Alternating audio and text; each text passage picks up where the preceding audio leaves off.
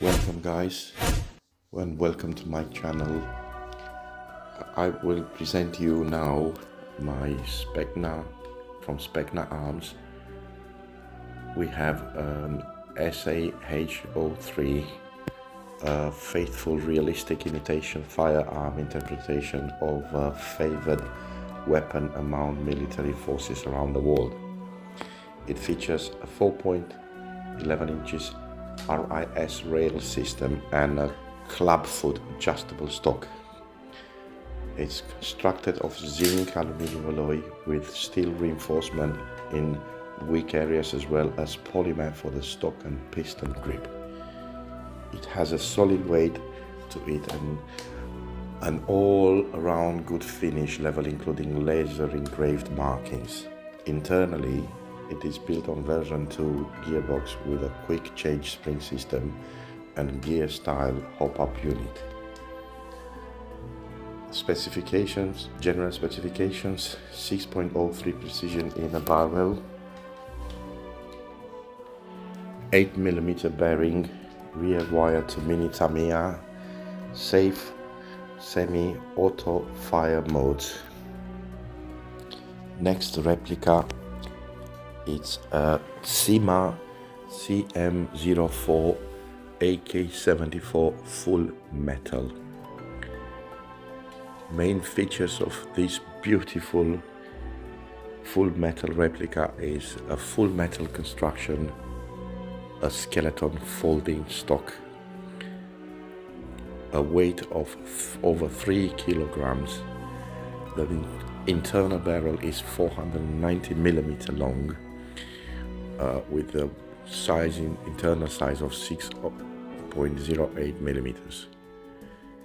Um, the rifle came with uh, the classical uh, ABS black stock, which uh, I've changed it with a rail ABS black stock uh, designed for AK so variants and a new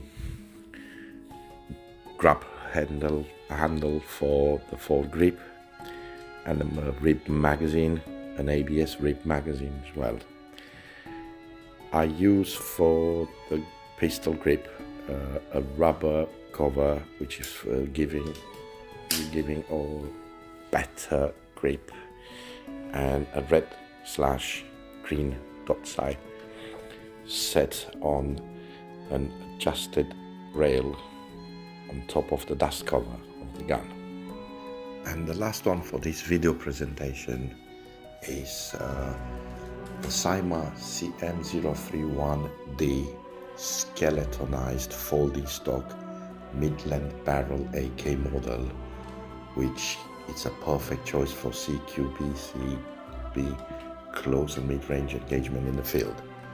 What I have done with this beautiful full metal gun. I've changed the uh, foregrip, which was done uh, the black ABS with a beautiful real wood foregrip with a nice grab handle on it. It's a Cyma foregrip as well. And uh, also, I've changed the I've changed the side with a Picatinny rail, which uh, allows me to set with success a red dot for this uh, gun.